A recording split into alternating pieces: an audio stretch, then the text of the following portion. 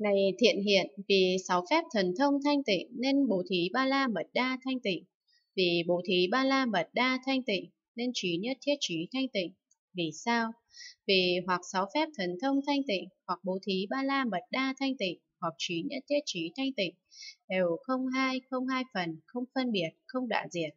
Vì sáu phép thần thông thanh tịnh nên tịnh giới an nhẫn, tinh tấn, tịnh lự, bát nhã, ba la mật đa thanh tịnh vì tịnh giới cho đến bát nhã ba la mật đa thanh tịnh nên trí nhất thiết trí thanh tịnh. Vì sao? Vì hoặc sáu phép thần thông thanh tịnh, hoặc tịnh giới cho đến bát nhã ba la mật đa thanh tịnh, hoặc trí nhất thiết trí thanh tịnh, đều không hai, không hai phần, không phân biệt, không đoạn diệt. Này thiện hiện vì sáu phép thần thông thanh tịnh, nên pháp không nội thanh tịnh, vì pháp không nội thanh tịnh, nên trí nhất thiết trí thanh tịnh. Vì sao? Vì hoặc sáu phép thần thông thanh tịnh, hoặc pháp không nội thanh tịnh, hoặc trí nhất thiết trí thanh tịnh, đều không hai, không hai phần, không phân biệt, không đoạn diệt. Vì sáu phép thần thông thanh tịnh, nên pháp không ngoại, pháp không nội ngoại, pháp không không, pháp không lớn, pháp không thắng nghĩa, pháp không hữu vi, pháp không vô vi, pháp không rốt ráo, pháp không không biên giới, pháp không tản mạn, pháp không không đổi khác, pháp không bổn tánh, pháp không tự tướng, pháp không cộng tướng, pháp không tất cả pháp, pháp không chẳng thể nắm bắt được, pháp không không tánh, pháp không tự tánh, pháp không không tánh tự tánh thanh tịnh. Vì pháp không ngoại cho đến pháp không không tánh tự tánh thanh tịnh nên trí nhất thiết trí thanh tịnh. Vì sao? Vì hoặc sáu phép thần thông thanh tịnh, hoặc pháp không ngoại cho đến pháp không không tánh tự tánh thanh tịnh, hoặc trí nhất thiết trí thanh tịnh, đều không hai, không hai phần, không phân biệt, không đoạn diệt. Này thiện hiện vì sáu phép thần thông thanh tịnh nên chân như thanh tịnh, vì chân như thanh tịnh nên trí nhất thiết trí thanh tịnh. Vì sao? Vì hoặc sáu phép thần thông thanh tịnh, hoặc chất như thanh tịnh, hoặc trí nhất thiết trí thanh tịnh, đều không hai, không hai phần, không phân biệt, không đoạn diệt. Vì sáu phép thần thông thanh tịnh, nên pháp giới, pháp tánh, tánh chẳng hư vọng, tánh chẳng đổi khác, tánh bình đẳng, tánh ly sanh, định pháp, trụ pháp, thật tế, cảnh giới hư không, cảnh giới bất tư nghỉ, thanh tịnh. Vì pháp giới cho đến cảnh giới bất tư nghỉ, thanh tịnh, nên trí nhất thiết trí thanh tịnh. Vì sao? Vì hoặc sáu phép thần thông thanh tịnh, hoặc pháp giới cho đến cảnh giới bất tư nghỉ thanh tịnh, hoặc trí nhất thiết trí thanh tịnh, đều không hai, không hai phần, không phân biệt, không đoạn diệt. Này thiện hiện vì sáu phép thần thông thanh tịnh nên thánh đế khổ thanh tịnh, vì thánh đế khổ thanh tịnh nên trí nhất thiết trí thanh tịnh. Vì sao? Vì hoặc sáu phép thần thông thanh tịnh, hoặc thánh đế khổ thanh tịnh, hoặc trí nhất thiết trí thanh tịnh, đều không hai, không hai phần, không phân biệt, không đoạn diệt. Vì sáu phép thần thông thanh tịnh nên thánh đế tập diệt đạo thanh tịnh, vì thánh đế tập diệt đạo thanh tịnh nên trí nhất thiết trí thanh tịnh. Vì sao? Vì hoặc sáu phép thần thông thanh tịnh, hoặc thánh đế tập diệt đạo thanh tịnh, hoặc trí nhất thiết trí thanh tịnh, đều không hai, không hai phần, không phân biệt, không đoạn diệt. Này thiện hiện vì sáu phép thần thông thanh tịnh nên bốn tịnh lự thanh tịnh, vì bốn tịnh lự thanh tịnh nên trí nhất thiết trí thanh tịnh. Vì sao? Vì hoặc sáu phép thần thông thanh tịnh, hoặc bốn tịnh lự thanh tịnh, hoặc trí nhất thiết trí thanh tịnh, đều không hai, không hai phần, không phân biệt, không đoạn diệt. Vì sáu phép thần thông thanh tịnh nên bốn vô lượng, bốn định vô sắc thanh tịnh. Vì bốn vô lượng, bốn định vô sắc thanh tịnh nên trí nhất thiết trí thanh tịnh. Vì sao? Vì hoặc sáu phép thần thông thanh tịnh, hoặc bốn vô lượng, bốn định vô sắc thanh tịnh, hoặc trí nhất thiết trí thanh tịnh, đều không hai, không hai phần, không phân biệt, không đoạn diệt. Này thiện hiện vì sáu phép thần thông thanh tịnh nên tám giải thoát thanh tịnh, vì tám giải thoát thanh tịnh nên trí nhất thiết trí thanh tịnh. Vì sao? Vì hoặc sáu phép thần thông thanh tịnh, hoặc tám giải thoát thanh tịnh, hoặc trí nhất thiết trí thanh tịnh, đều không hai, không hai phần, không phân biệt, không đoạn diệt. Vì sáu phép thần thông thanh tịnh nên tám tháng xứ, chín định thứ đệ, mười biến xứ thanh tịnh. Vì tám tháng xứ, chín định thứ đệ, mười biến xứ thanh tịnh nên trí nhất thiết trí thanh tịnh. Vì sao?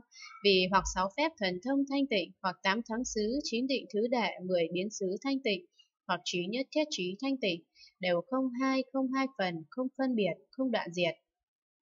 Này thiện hiện vì sáu phép thần thông thanh tịnh nên bốn niệm trụ thanh tịnh, vì bốn niệm trụ thanh tịnh nên trí nhất thiết trí thanh tịnh. Vì sao? Vì hoặc sáu phép thần thông thanh tịnh, hoặc bốn niệm trụ thanh tịnh, hoặc trí nhất thiết trí thanh tịnh, đều không hai, không hai phần, không phân biệt, không đoạn diệt.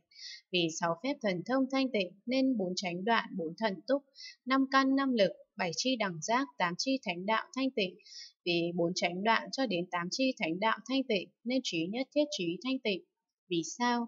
Vì hoặc sáu phép thần thông thanh tịnh, hoặc bốn chánh đoạn cho đến tám chi thánh đạo thanh tịnh, hoặc trí nhất thiết trí thanh tịnh, đều không hai, không hai phần, không phân biệt, không đoạn diệt. Này thiện hiện vì sáu phép thần thông thanh tịnh, nên pháp môn giải thoát không thanh tịnh, vì pháp môn giải thoát không thanh tịnh, nên trí nhất thiết trí thanh tịnh. Vì sao? Vì hoặc sáu phép thần thông thanh tịnh, hoặc pháp môn giải thoát không thanh tịnh, hoặc trí nhất thiết trí thanh tịnh, đều không hai, không hai phần, không phân biệt, không đoạn diệt. Vì sáu phép thần thông thanh tịnh, nên pháp môn giải thoát vô tướng vô nguyện thanh tịnh. Vì pháp môn giải thoát vô tướng vô nguyện thanh tịnh, nên trí nhất thiết trí thanh tịnh. Vì sao?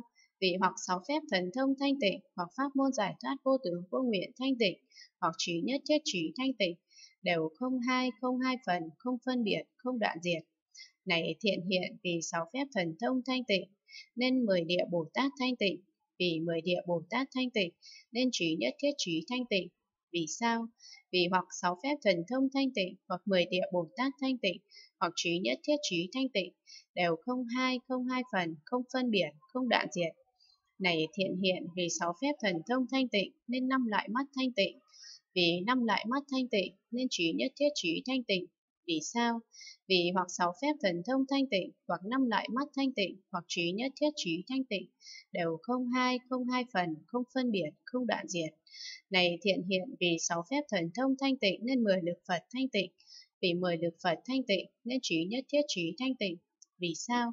Vì hoặc sáu phép thần thông thanh tịnh, hoặc mười lực Phật thanh tịnh, hoặc trí nhất thiết trí thanh tịnh, đều không hai, không hai phần, không phân biệt, không đoạn diệt. Vì sáu phép thần thông thanh tịnh, nên bốn điều không sợ, bốn sự hiểu biết thông suốt, đại từ, đại bi, đại hỷ, đại xả, 18 pháp Phật bất cộng thanh tịnh. Vì bốn điều không sợ cho đến 18 pháp Phật bất cộng thanh tịnh, nên trí nhất thiết trí thanh tịnh. Vì sao? Vì hoặc sáu phép thần thông thanh tịnh, hoặc bốn điều không sợ cho đến 18 pháp Phật bất cộng thanh tịnh, hoặc trí nhất thiết trí thanh tịnh, đều không hai, không hai phần, không phân biệt, không đoạn diệt. Này thiện hiện vì sáu phép thần thông thanh tịnh, nên pháp không quên mất thanh tịnh. Vì pháp không quên mất thanh tịnh, nên trí nhất thiết trí thanh tịnh. Vì sao?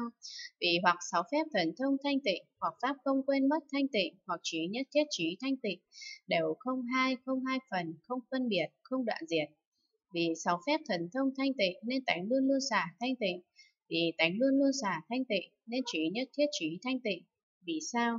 Vì hoặc sáu phép thần thông thanh tịnh, hoặc tánh luôn luôn xả thanh tịnh, hoặc trí nhất thiết trí thanh tịnh, đều không hai, không hai phần, không phân biệt, không đoạn diệt. Này thiện hiện vì sáu phép thần thông thanh tịnh, nên trí nhất thiết thanh tịnh. Vì trí nhất thiết thanh tịnh, nên trí nhất thiết trí thanh tịnh. Vì sao? Vì hoặc sáu phép thần thông thanh tịnh, hoặc trí nhất thiết thanh tịnh, hoặc trí nhất thiết trí thanh tịnh, đều không hai, không hai phần, không phân biệt, không đoạn diệt. Vì sáu phép thần thông thanh tịnh nên trí đạo tướng trí nhất thiết tướng thanh tịnh. Vì trí đạo tướng trí nhất thiết tướng thanh tịnh nên trí nhất thiết trí thanh tịnh. Vì sao? Vì hoặc sáu phép thần thông thanh tịnh, hoặc trí đạo tướng trí nhất thiết tướng thanh tịnh, hoặc trí nhất thiết trí thanh tịnh, đều không hai, không hai phần, không phân biệt, không đoạn diệt. Này thiện hiện vì sáu phép thần thông thanh tịnh, nên tất cả pháp môn Đà La Ni thanh tịnh. Vì tất cả pháp môn Đà La Ni thanh tịnh, nên trí nhất thiết trí thanh tịnh. Vì sao? Vì hoặc sáu phép thần thông thanh tịnh, hoặc tất cả pháp môn Đà La Ni thanh tịnh, hoặc trí nhất thiết trí thanh tịnh, đều không hai, không hai phần, không phân biệt, không đoạn diệt. Vì sáu phép thần thông thanh tịnh nên tất cả pháp môn tam ma địa thanh tịnh. Vì tất cả pháp môn tam ma địa thanh tịnh nên trí nhất thiết trí thanh tịnh. Vì sao? Vì hoặc sáu phép thần thông thanh tịnh, hoặc tất cả pháp môn tam ma địa thanh tịnh, hoặc trí nhất thiết trí thanh tịnh, đều không hai, không hai phần, không phân biệt, không đoạn diệt. Này thiện hiện vì sáu phép thần thông thanh tịnh nên dự lưu quả thanh tịnh, vì dự lưu quả thanh tịnh nên trí nhất thiết trí thanh tịnh. Vì sao? Vì hoặc sáu phép thần thông thanh tịnh, hoặc sự lưu quả thanh tịnh, hoặc trí nhất thiết trí thanh tịnh, đều không hai, không hai phần, không phân biệt, không đoạn diệt. Vì sáu phép thần thông thanh tịnh, nên nhất lai bất hoàn A-la-hán quả thanh tịnh. Vì nhất lai bất hoàn A-la-hán quả thanh tịnh, nên trí nhất thiết trí thanh tịnh. Vì sao? Vì hoặc sáu phép thần thông thanh tịnh, hoặc nhất lai bất hoàn A-la-hán quả thanh tịnh, hoặc trí nhất thiết trí thanh tịnh, đều không hai, không hai phần, không phân biệt, không đoạn diệt. Này thiện hiện vì sáu phép thần thông thanh tịnh nên quả vị độc giác thanh tịnh. Vì quả vị độc giác thanh tịnh nên trí nhất thiết trí thanh tịnh. Vì sao? Vì hoặc sáu phép thần thông thanh tịnh, hoặc quả vị độc giác thanh tịnh, hoặc trí nhất thiết trí thanh tịnh, đều không hai, không hai phần, không phân biệt, không đoạn diệt. Này thiện hiện vì sáu phép thần thông thanh tịnh, nên tất cả hạnh đại Bồ Tát thanh tịnh. Vì tất cả hạnh đại Bồ Tát thanh tịnh, nên trí nhất thiết trí thanh tịnh. Vì sao? Vì hoặc sáu phép thần thông thanh tịnh, hoặc tất cả hạnh đại Bồ Tát thanh tịnh, hoặc trí nhất thiết trí thanh tịnh, đều không hai, không hai phần, không phân biệt, không đoạn diệt. Này thiện hiện vì sáu phép thần thông thanh tịnh nên quả vị giác ngộ cao tột của chư Phật thanh tịnh. Vì quả vị giác ngộ cao tột của chư Phật thanh tịnh nên trí nhất thiết trí thanh tịnh. Vì sao? Vì hoặc sáu phép thần thông thanh tịnh hoặc quả vị giác ngộ cao tột của chư Phật thanh tịnh hoặc trí nhất thiết trí thanh tịnh đều không hai, không hai phần, không phân biệt, không đoạn diệt.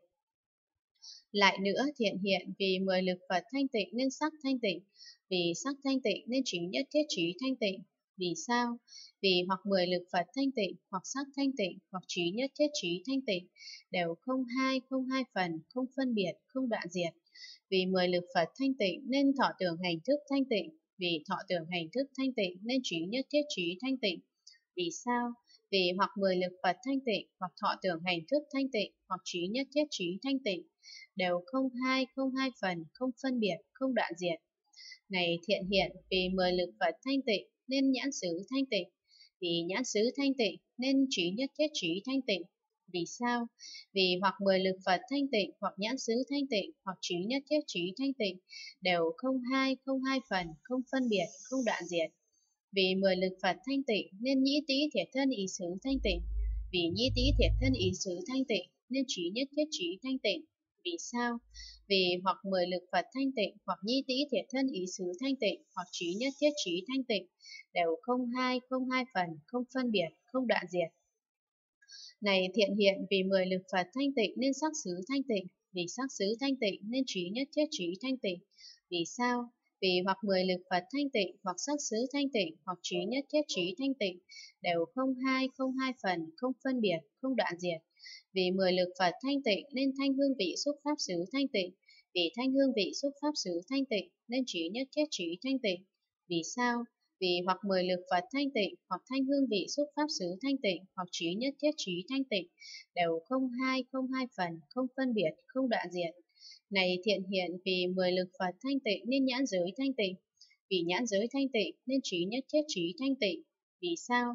Vì hoặc mười lực Phật thanh tịnh, hoặc nhãn giới thanh tịnh, hoặc trí nhất thiết trí thanh tịnh, đều không hai, không hai phần, không phân biệt, không đoạn diệt. Vì mười lực Phật thanh tịnh, nên sắc giới, nhãn thức giới và nhãn xúc, cùng các thọ do nhãn xúc làm duyên sinh ra thanh tịnh. Vì sắc giới cho đến các thọ do nhãn xúc làm duyên sinh ra thanh tịnh, nên trí nhất thiết trí thanh tịnh. Vì sao? Vì hoặc mười lực Phật thanh tịnh, hoặc sắc giới cho đến các thọ do nhãn xúc làm duyên sinh ra thanh tịnh, hoặc trí nhất thiết trí thanh tịnh, đều không hai, không hai phần, không phân biệt, không đoạn diệt. Này thiện hiện vì mười lực Phật thanh tịnh nên nhĩ giới thanh tịnh, vì nhĩ giới thanh tịnh nên trí nhất thiết trí thanh tịnh. Vì sao? Vì hoặc mười lực Phật thanh tịnh, hoặc nhĩ giới thanh tịnh, hoặc trí nhất thiết trí thanh tịnh, đều không hai, không hai phần, không phân biệt, không đoạn diệt. Vì mười lực Phật thanh tịnh nên thanh giới, nhĩ thức giới và nhĩ xúc, cùng các thọ do nhĩ xúc làm duyên sinh ra thanh tịnh, vì thanh giới cho đến các thọ do nhĩ xúc làm duyên sinh ra thanh tịnh, nên trí nhất thiết trí thanh tịnh. Vì sao? Vì hoặc mười lực Phật thanh tịnh, hoặc thanh giới cho đến các thọ do nhĩ xúc làm duyên sinh ra thanh tịnh, hoặc trí nhất thiết trí thanh tịnh, đều không hai, không hai phần, không phân biệt, không đoạn diệt. Này thiện hiện vì mười lực Phật thanh tịnh nên tĩ giới thanh tịnh, vì tĩ giới thanh tịnh nên trí nhất thiết trí thanh tịnh. Vì sao? Vì hoặc mười lực Phật thanh tịnh, hoặc tĩ giới thanh tịnh, hoặc trí nhất thiết trí thanh tịnh, đều không hai, không hai phần, không phân biệt, không đoạn diệt. Vì mười lực Phật thanh tịnh, nên hương giới, tĩ thức giới và tĩ xúc, cùng các thọ do tĩ xúc làm chuyên sinh ra thanh tịnh, vì hương giới cho đến các thọ do tĩ xúc làm duyên sinh ra thanh tịnh, nên trí nhất thiết trí thanh tịnh. Vì sao? Vì hoặc mười lực Phật thanh tịnh, hoặc hương giới cho đến các thọ do tĩ xúc làm duyên sinh ra thanh tịnh, hoặc trí nhất thiết trí thanh tịnh, đều không hai, không hai phần, không phân biệt, không đoạn diệt. Này thiện hiện vì mười lực Phật thanh tịnh nên thiệt giới thanh tịnh, vì thiệt giới thanh tịnh nên trí nhất thiết trí thanh tịnh. Vì sao? Vì hoặc mười lực Phật thanh tịnh, hoặc thiệt giới thanh tịnh, hoặc trí nhất thiết trí thanh tịnh, đều không hai, không hai phần, không phân biệt, không đoạn diệt. Vì mười lực Phật thanh tịnh nên vị giới, thiệt thức giới và thiệt xúc, cùng các thọ do thiệt xúc làm duyên sinh ra thanh tịnh. Vì vị giới cho đến các thọ do thiệt xúc làm duyên sinh ra thanh tịnh nên trí nhất thiết trí thanh tịnh. Vì sao? Vì hoặc mười lực Phật thanh tịnh, hoặc vị giới cho đến các thọ do thiệt xúc làm duyên sinh ra thanh tịnh, hoặc trí nhất thiết trí thanh tịnh, đều không hai, không hai phần, không phân biệt, không đoạn diệt. Này thiện hiện vì mười lực Phật thanh tịnh nên thân giới thanh tịnh, vì thân giới thanh tịnh nên trí nhất thiết trí thanh tịnh. Vì sao?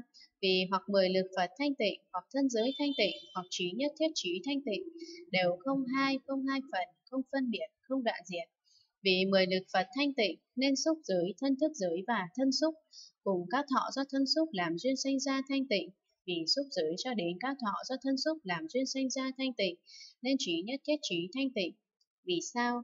Vì hoặc mười lực Phật thanh tịnh, hoặc xúc giới cho đến các thọ do thân xúc làm duyên sanh ra thanh tịnh, hoặc trí nhất thiết trí thanh tịnh, đều không hai, không hai phần, không phân biệt, không đoạn diệt.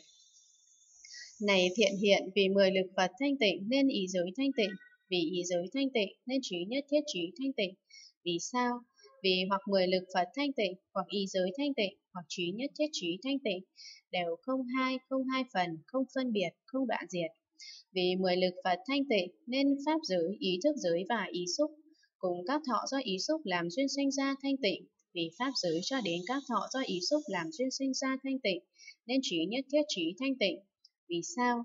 Vì hoặc mười lực Phật thanh tịnh, hoặc pháp giới cho đến các thọ do ý xúc làm duyên sinh ra thanh tịnh, hoặc trí nhất thiết trí thanh tịnh, đều không hai, không hai phần, không phân biệt, không đoạn diệt.